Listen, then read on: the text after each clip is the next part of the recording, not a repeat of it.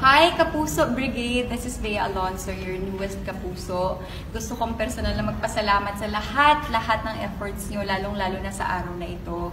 And sana, soon, makilala ko kayong lahat. Always stay safe!